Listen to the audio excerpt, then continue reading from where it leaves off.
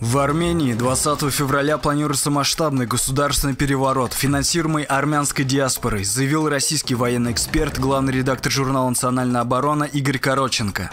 Анализ имеющейся информации позволяет сделать вывод о том, что 20 февраля в Ереване запланирована масштабная попытка государственного переворота, цель и задача которой – насильственное отстранение от власти премьер-министра Армении Никола Пашиняна, сказал Короченко на своем телеграм-канале. По словам эксперта, зарубежные армянские диаспоры и олигархи армянского происхождения планируют провести ряд мероприятий, в реализацию которых вложено около 30 миллионов долларов США.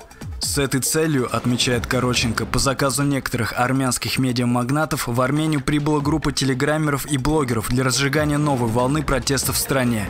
Успех или неудача антипашиняновского заговора критически зависит от того, какую позицию в событиях 20 февраля займут армия, служба национальной безопасности и правоохранительные структуры. Точнее, от лояльности их руководителей нынешнему премьер-министру Армении, подчеркнул эксперт. При этом он отметил, что позиция России остается неизменной, считает действующего премьера Армении легитимным руководителем страны.